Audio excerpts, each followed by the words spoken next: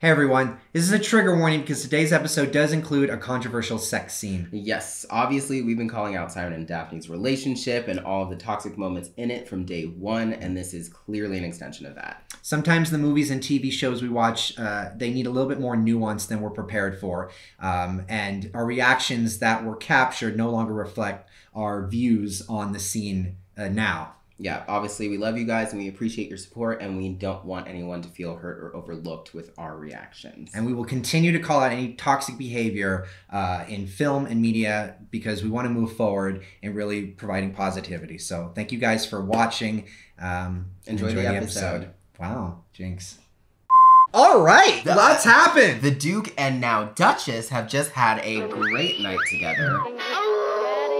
The only thing that's missing from their marriage is future children, and you know what? Maybe one day they'll adopt and take in a stray. Right. Orphan, Uh, orphan is what they're called. I'm excited to see where this goes. I am interested because the last episode didn't really leave off on a cliffhanger. I feel like we need to still find out who Lady Whistledown is. The the matter at hand of the children. Penelope getting ignored by the guy she likes. Right. And then obviously the spin-off of the Queen and Eloise. Eloise and the Queen. Uh, unfortunately, we film these back to back sometimes. So, So, we cannot say what y'all's input is, but hopefully actually, maybe we can. the winner is Oh yes, so good, such a good title. I especially loved it when they used the title. Wigs and roses, youths of the regency. and I really love this about it. All the creative titles. My favorite title was actually, Eloise and Sheep Finders Queenpers. but sadly we had to go with the title. The one that won. That's the one we chose. Exactly. All right, let's start the episode. Alright. Episode six, S- Swish. Swish, swish, bitch. Another one in the basket.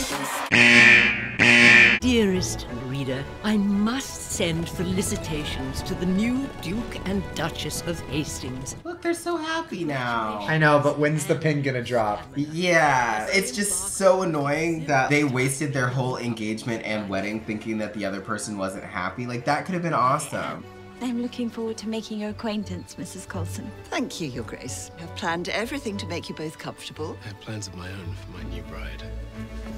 Pound Town, Pound Town. I just brought her home, now it's time to take her to Pound Town. That's aggressive.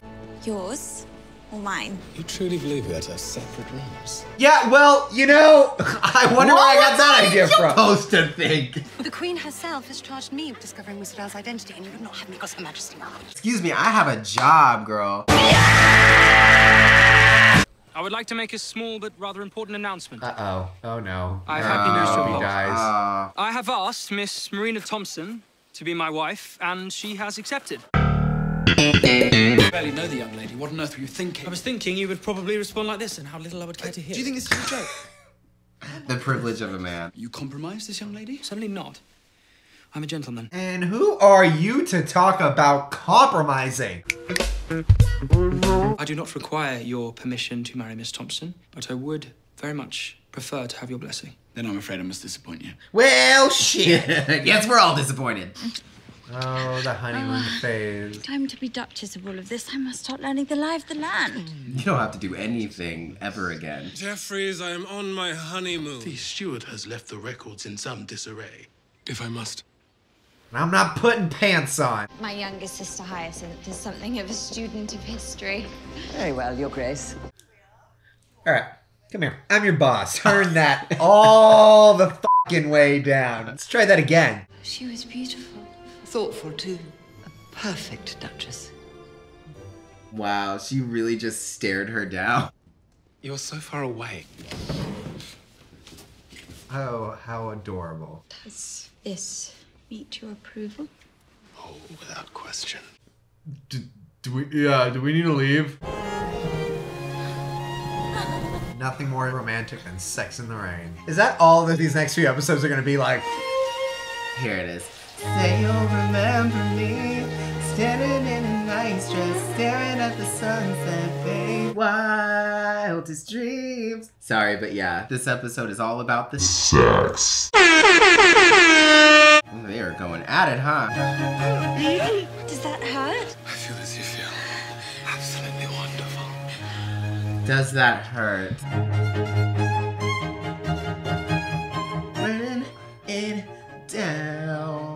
Gonna like wrap her legs around and be like, "No, you stay in." I think when she figures out what's happening, when it's not that he can't, it's that he won't, that's when we're gonna have a problem. Is she still touching herself? How? I think he's uh. I think he's Okay, I was about to say, I was like, ew, mouthwash. She's like, I wish I had someone to do that to me. Our activities are quite spirited. I'm sure all of our fortunes are about to change. Hmm, especially Colin's. Yeah.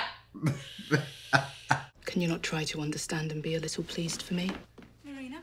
That ship has sailed. That was the ship sailing. Between the two of them, they really will make the most beautiful baby. He is not the father. You dunder. Oh my gosh. You will look so very lovely with it pinned up next season. No, I will look like every other young lady in the room, except less graceful and more bad-tempered.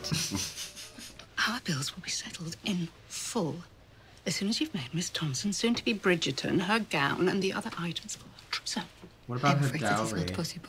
Perhaps you might find another tailoress more to your liking across town. You could try Sears. You have such a unique accent, and yet I've never asked where in France you're from. Got her. Ma mère était française, vous savez. I believe Madame Delacroix will be somewhat more amenable to our requests now, Lady Feather. Woo! Oh, oh shit! Where'd she Where'd she pull that from? That I've decided that all three pigs have tied.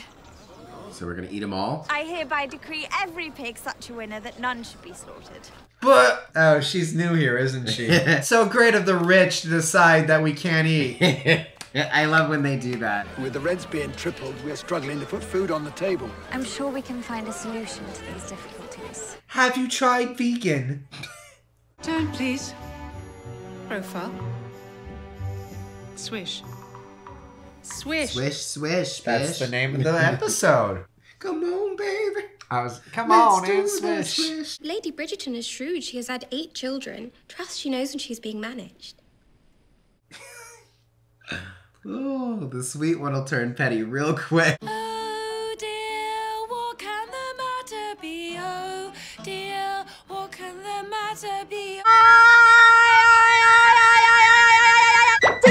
heart belongs to another.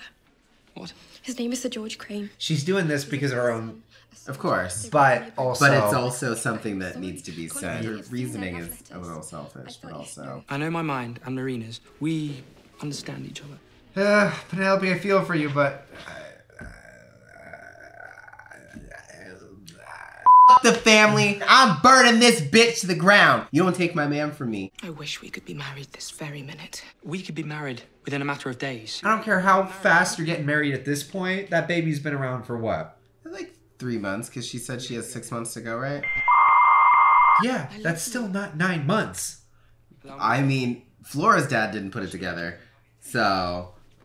Bly Manor. You can catch all the episodes right here.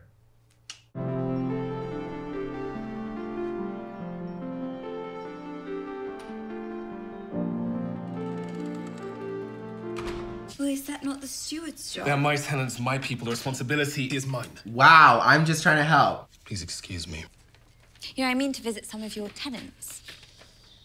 I might deliver some gift baskets. I will have someone gather those on your behalf. If you simply tell me of your wants and needs, I will ensure everything is in order. I will ensure everything is done properly. Oh. Perhaps I might ask your opinion on something. I cannot imagine what I have done wrong so soon. It was the pigs. It is tradition that the winner is allowed to supply pork to Clyvedon for the next year. Oh, it's a, For a year? For a whole town? when you could not choose a winner. No farmer won the contract. I had no idea. How could you have your grace? And why didn't your husband tell you that? Yeah, Like, I left her out to dry there, but He that- really did. This is what you do. Obviously, if you have the right heart and you're humble enough to let people tell you what's what, Exactly. you can be a better leader. I'm so very grateful for your guidance, Mrs. Colson. His grace, but his childhood was not always easy. It's not always the woman who is barren. Sometimes it is the man's fault, of course. Oh dear, I'm afraid I'm speaking out of turn. No, not at all, Mrs. Colson. Okay, let me continue. I said to the Duchess. Ooh, spill that tea. A womb cannot quicken without strong, healthy seed. I told you we were dining with Lady Gartside this evening. Sorry, Mama, I'm not feeling well. Upset.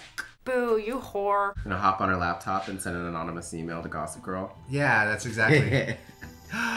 but real though, is she gonna send something to Lady Whistle? The How'd she send? I don't know. Yeah, but these are just the letters. This isn't. No, or is I she think looking, she- She's looking for the one. I think she just discovered. Oh, that it's fake. They are not the same. The slant of the lettering, it is all wrong. George has still not replied to my letters. He has abandoned me. I've abandoned my boy! What will you do when Colin realizes the child is not his? What I will do is live safe in the knowledge that my husband is a good and kind man. But what of him? What of Colin? You love him. Oh my God! Did it take you that long? Your love is an unrequited fantasy. Colin sees you as you are and regards you no differently than he does Eloise, or even little Hyacinth. He sees me as a wife, a woman. And as a woman, I must make these difficult choices for myself and for my child. All right. Cool.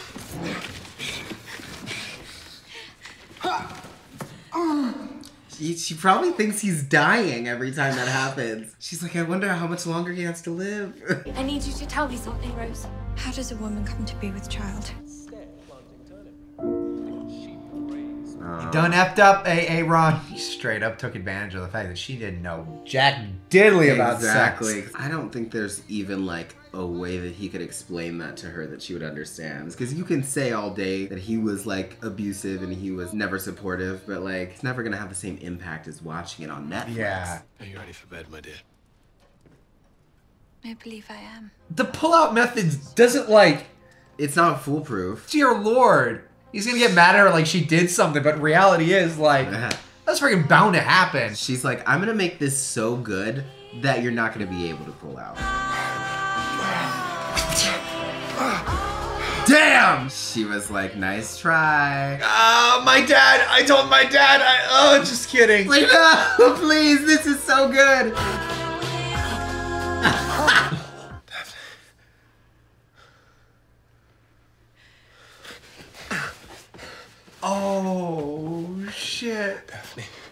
What what did you do? I had hoped I was mistaken, but clearly I was not. How could you? How could I? You lied to me. I did not lie. I trusted you. I trusted you more than anyone in this world, and you took advantage. You seized an opportunity, and so I did the very same. Told you I cannot give you children. Cannot and will not are two entirely different things. They sure are. I did not lie. I thought you were prepared. I thought you understood how a child came to be. She didn't even know how to touch herself. You, don't. You knew. Come on. I may not know much, as you have made abundantly clear, but I do know one thing. I know that is not love. The ones we love have the power to inflict the greatest scars. For what thing is more fragile Than a human heart. than the human heart? Oh. Miss Marina Thompson is with child. Did Penelope do it? Can the ends ever justify such wretched means? Wow. Ooh, you guys. You guys, it's going down. Well, I sure learned a lot about. How babies are made. Yeah. I had no idea. And here I thought it was the stork. That was an interesting conclusion. Uh, uh, climax, if you will. Oh my god. To that little arc. yeah, I think See what I did uh, there? I, I saw. I think it's time for him to step up and be the father that he wasn't now that the ship has probably sailed on him not being a father. Right. And I wish he would have, you know, had the emotional awareness to be able to tell her why he wouldn't be a father. And but try to explain it, yeah. But you know, they didn't have therapy back then. They probably would have just staked a spear in his head and been like, You're give him a lobotomy. He's crazy. He's showing emotions. Uh, also, um, Penelope, I personally think that actually I really liked their conversation. Um, hers and Adora, is that her name? What they both said was correct, and they both were being selfish, but they also were both being honest. It was um, Except one was being selfish and unselfish at the same time, whereas one was being double selfish.